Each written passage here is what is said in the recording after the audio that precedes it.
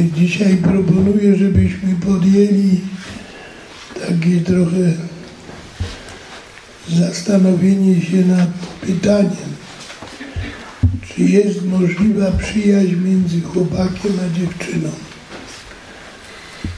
Różne są bowiem wygłaszane na ten temat opinie. Jedni to tak jak teraz właśnie trwa dyskusja w Sejmie. Śmierć i życie walczą ze sobą. Jedni tak, drugi tak. Tak jest i w tej materii. PiS powiada, że jest możliwa przyjaźń między chłopakiem a dziewczyną. PO powiada, że to żadną miarą. No i co z tym począć? Wybrać sobie partię. Jeżeli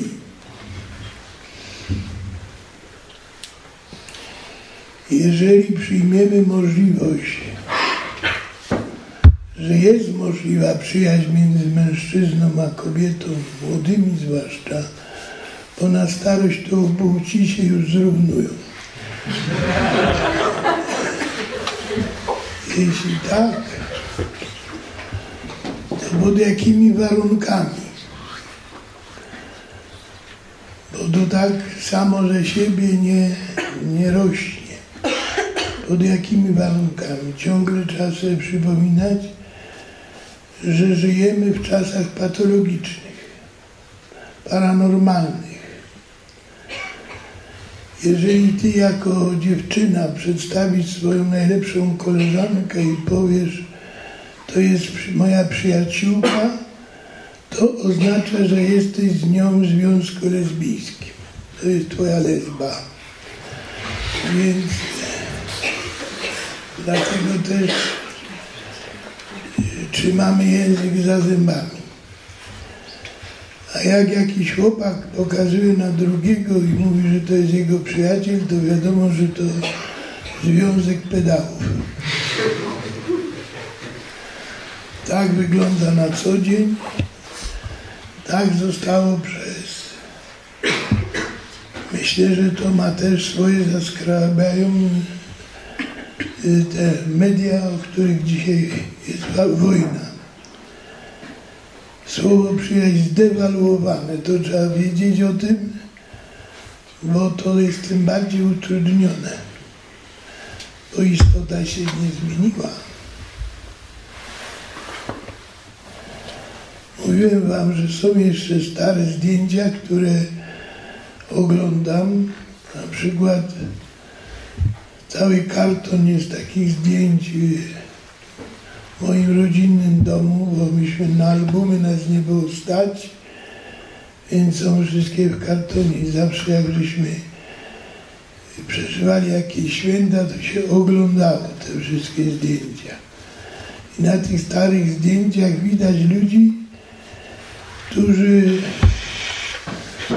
jakoś się obejmują, przytulają do siebie. Natomiast na współczesnych zdjęciach, które mi często pokazujecie, to są pokazywane lodowate mumie, które stoją według przepisów Unii przynajmniej pół metra od siebie. Niestety.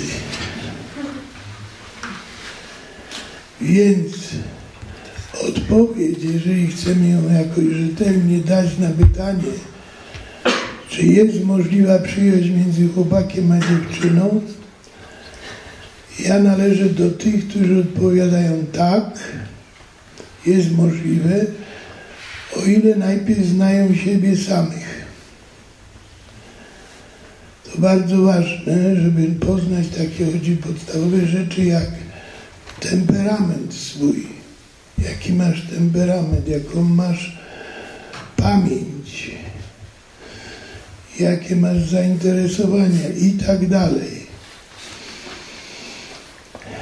I następna sprawa, dzięki której może być, może się rozwinąć przyjaźń między chłopakiem a dziewczyną, to jest najtrudniejsza sprawa, a mianowicie chodzi o panowanie nad swoją seksualnością. Dlatego że w przyjaźni nie ma mowy o seksualności. Ona może być, ale wtedy to jest na przykład między mężem i żoną. I to by nawet było wskazane, bo tam, gdzie między żoną a mężem jeszcze występuje ten parametr przyjaźni, to rokuje na bardzo trwałe i szczęśliwe małżeństwo. Mnie tu jednak chodzi, że na przykład przyjaźnisz się z żoną swojego kumpla. Tamten nie podnosi brwi ze zdziwieniem, ponieważ wie, znacie. I wie, że tam nie będzie się mieszał w ten wasz związek przyjaźni element seksualny. To oczywiście wymaga pewnej dojrzałości swojej osoby, dojrzałości, która jest skutkiem pracy nad sobą. Z mojej półwiecznej obserwacji wygląda jednak tak, że młodym, a więc i Wam, nie chce się pracować nad sobą. Naiwni myślicie, że to samo przyjdzie. Nie, nie.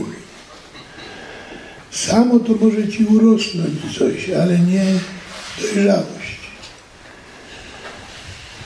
To jest wyjątkowo, że można znaleźć jedną osobę na tysiąc, która trochę pracuje nad sobą.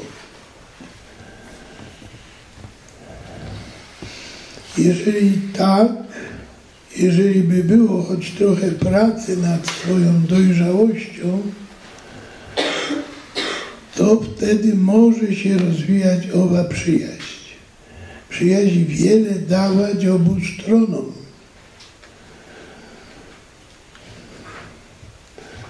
Ale powtarzam, to jest konieczna pewna dojrzałość.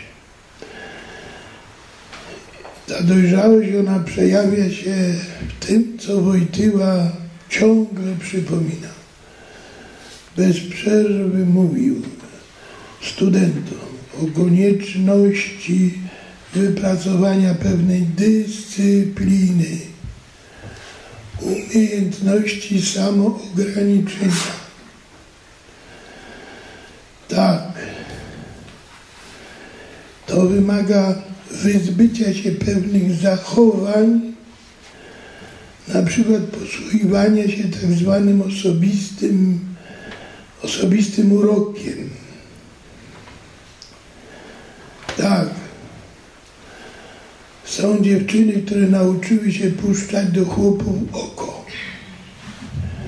Jak chcą go zwabić, ja nie umiem, ale one to jeszcze jak wymalują i przedłużą rzęsy o 20 centymetrów, to, to rzeczywiście mało który chłop wytrzyma.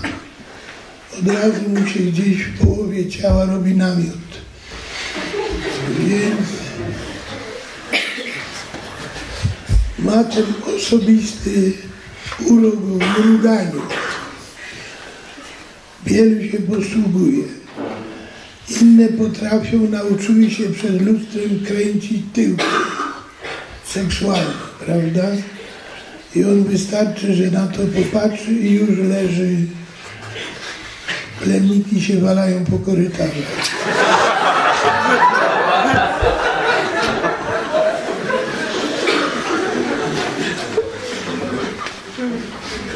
Niestety, to jest powszechna dziecinada u studentów. Infantylizm, infantylizm. To jest ponad moje siły. Jakby przyleciał do mnie burek i zakręcił ogonem i powiedział tak, orzechł ponad siły. Spotkałem Azę, która była w rój i stało się. Przyznam rację. On ma rację. Więc oczywiście, że ja mówię coś zupełnie przeciwnego niż to jest propagowane, nie? W telewizji, która ma teraz się zmienić, dlatego PO walczy na śmierć i życie, żeby tego nie oddać. Właśnie na tym to polegało, że to jest plus. To są cechy, które są mile widziane.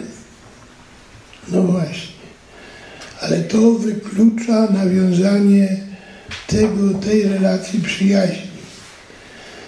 Tak samo nas jest wśród Was, wystarczy nie mieć dobrego słuchu, ja mam jeszcze dobry słuch, jak erotyzacja mowy.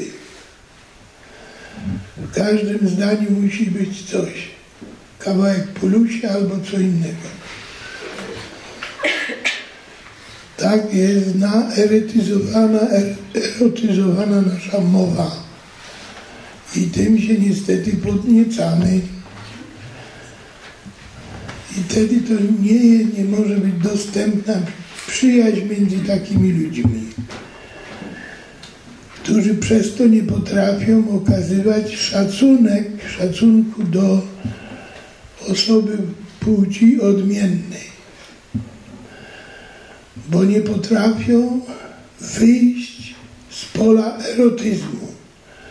Wybudowali swój dom na polu erotyzmu i tam już siedzą cały czas ześwinieni od włosów do nóg. Niestety, nie, ta przyjaźń, na którą sobie mamy odpowiedzieć na pytanie, czy jest możliwa między chłopakiem a dziewczyną, jest możliwie, krótko mówiąc, dostępna dla normalnych ludzi. A tu już nie chcę sto razy powtarzać, że to przysłowie jest tu bardzo aktualne. Normalny pies to jest taki, który macha ogonem, a nie ogon macha psem. Niestety większość jest właśnie w takiej sytuacji, że to ogon macha nim, a nie on ogonem. I, i wtedy brakuje tej normalności. To niestety jest największą przeszkodą w tym budowaniu relacji przyjaźni. I tego się uczymy w normalnych naszych rodzinach, o ile takie mamy. W normalnej rodzinie uczymy się tych zachowań normalnych, które potem właśnie wychodzą przyjaźni. Tutaj rodzice tę normalność ułatwiają albo ją psują. Dzisiaj wielu rodziców epatuje w swoich rodzinach seksem. Są tak zwane nowocześnie wychowujący dzieci, prawda? Kiedy tata idzie rozebrany do naga i do łazienki, córeczka leci i mówi, mamusiu, tatoś coś ma. To ja jej mówię, po co to pokazujesz? A niech się dziewczyna oswoi. No to się oswaja. I to epatowanie seksem po domu powoduje, że zanika coś, co jest na postawił na pierwszym miejscu w wychowaniu dzieci. Czystość serca. Na pierwszym miejscu. Czystość serca. Za tym idzie coś takiego jak czystość patrzenia. Proszę sobie uświadomić, jak patrzycie na siebie nawzajem. Co wchodzi pod uwagę, a niektórzy już tylko i wyłącznie potrafią patrzeć przez genitalia na drugiego człowieka. Niestety, tu mamy do czynienia właśnie z tym brakiem czystości i wobec tego też brudnym patrzeniem na drugiego człowieka, o czym mówi Chrystus.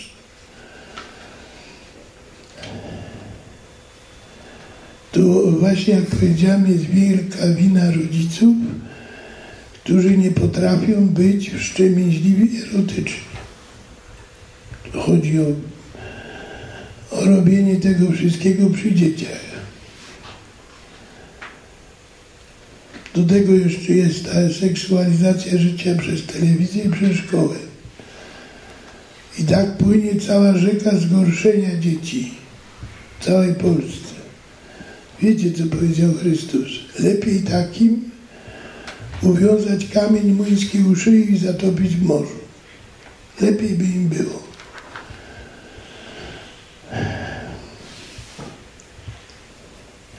Trzeba, żeby więc do wychowania powróciło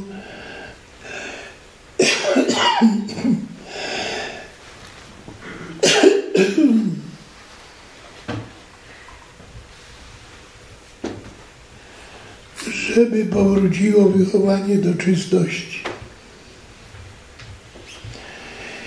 Jeżeli to nie powróci, to będzie coraz bardziej, to będzie coraz bardziej się rozbudowywać takie podejście, jak to jest w potocznej mowie. Będziecie się nawzajem traktować jako towary które trzeba wymieniać. Do tego jeszcze jest ciacho, które ona chce schrupnąć i które nawet y, chłopy sobie na tyłkach piszą ciacho, no to potem lecą za nimi. Te, które chcą schrupnąć.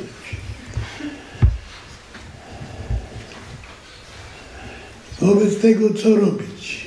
Czy skreślić taką możliwość, która w naszych czasach jest utrudniona albo niemożliwa, żeby budować relacje przyjaźni?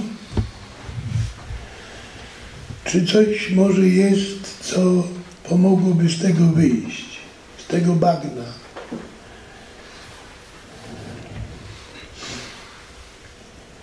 Co zrobić, kiedy Twoja pani przy pierwszym takim głębszym poznaniu powie, że mieszkała już z pięcioma chłopakami.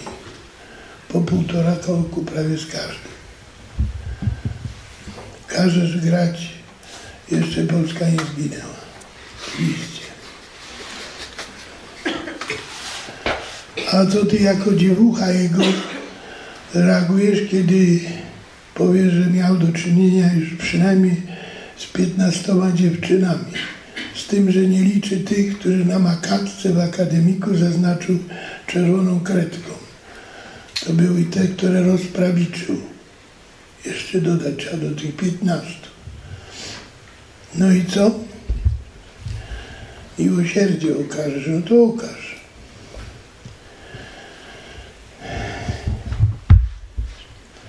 To jest dziedzictwo, które potem wyjdzie. I to zaraz po ślubie. Co można próbować zrobić? Za chwilę po mszy świętej i po tej ciążliwej komunii świętej, jak pod, mam zdrętwiałą no, przez całą noc rękę, no, ale może się trzeba cieszyć. Ja myślę, że można to zrobić coś takiego poprosić swojego najważniejszego i wypróbowanego przyjaciela o pomoc. Dla jasności chodzi o Jezusa Chrystusa. Trzeba go poprosić o pomoc w takim znaczeniu, żeby on zrobił reset w naszym życiu przywrócił nam na nowo to czyste spojrzenie. On to może zrobić. I tutaj, i tutaj warto w czasie tej adoracji już można to robić. Siedząc przed nim. Trzeba go na przykład zaprosić, kiedy wynika jasno z chronologii, bo czas jest nie tylko psychologiczny, ale jest chronologiczny. Bardzo łatwo obliczyć, że na przykład urodziłeś się bardzo, bardzo, bardzo wielkim wcześniaczkiem. Że cię zrobili przed dwa miesiące przed ślubem. No i co? Ma to znaczenie czy nie? Obserwacja mi pokazuje, że ma to znaczenie. bo mógł to być wtedy grzech rozpusty, któremu asystował rogaty, nie anioł stróż, rogaty. I tutaj niektórzy mogą znaleźć przyczynę tej nieustającej masturbacji. Bo to jest piętno tamtego stosunku rodziców, którzy często na to nie zwracają uwagi, a ty im tego nie powiesz, że czasami pięć razy dziennie robisz to. Ale to jest jego robota. Mówię to, bo już bardzo wielu potwierdziło to, kiedy prosiło właśnie Chrystusa, żeby odniósł się do tych pierwszych chwil życia, zaraz po poczęciu, które było grzeszne. I żeby już te, tam to oczyścił. To bardzo często pomaga. Wielu z Was nosi taką stygmatyzację z tego powodu, że w rodzinie się nie, kładło nacisku na wychowanie czystego spojrzenia i czystego serca.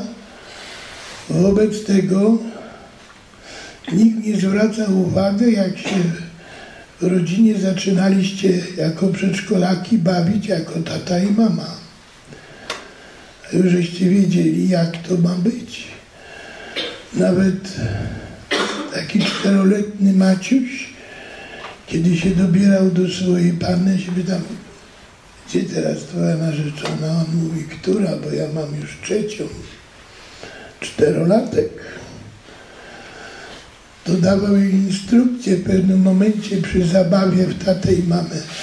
Teraz powinnaś jęczeć.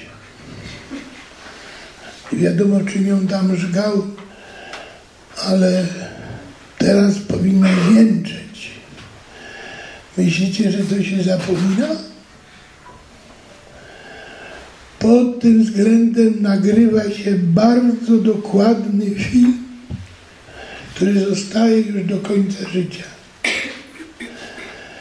I czasem spowiadam babcię, która dochodzi do stówy. Zapomniała na przykład, jak się nazywa. Trzeba zaglądać do dowodu osobistego ale tych rzeczy nie zapomniała. Dokładnie wie, ile miał wzrostu i tak dalej. Taka jest nasza natura, żebyście o tym wiedzieli. I trzeba do tego czwartego roku życia zaprosić Chrystusa, żeby On tam Cię dotknął i wyzwolił Cię z tego piękna. A ileż to jest takich rzeczy, kiedy starszy Twój kuzyn już nie tylko się bawi pulusiem, ale po prostu manipuluje i przemocą dochodzi do współżycia w bardzo młodym wieku. A już najgorsza sytuacja to jest, kiedy się na przykład dobiera ojciec. To nie jest rzadki wypadek. Niesiemy to potem ze sobą przez całe życie i tu nie można mówić, że się możemy zaprzyjaźnić. Trzeba najpierw to usunąć. To znaczy najprostsza rzecz Chrystusa jako przyjaciela prosić, żeby Pan Jezus, jakby to powiedzieć, wszedł w sytuację, która ci Ciebie poraniła i zniszczyła, żeby Ci na nowo przywrócić spojrzenie czyste, to znaczy spojrzenie dziecka, które jest czyste. To można zrobić dzisiaj w czasie adoracji. I wtedy mogą, może Chrystus usunąć wszystkie przeszkody, które są w nas bo u Boga wszystko jest możliwe. Więc zachęcam do, do tej właśnie uzdrawiającej modlitwy już dzisiaj.